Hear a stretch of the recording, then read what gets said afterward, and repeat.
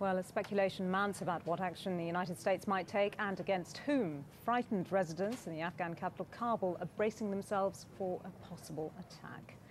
There are reports that residents had begun digging trenches in anticipation of US retaliation and that other fortifications were being made.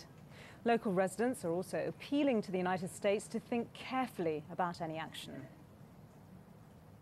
The United States attack Afghanistan. It will have it will have tragic come out for the people, which we already have experienced for past 23 years.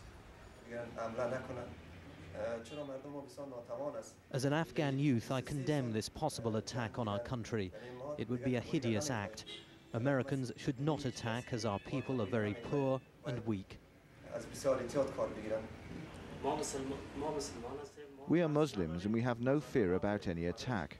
We rely on God. But without any evidence, an attack would be bad and an illogical act.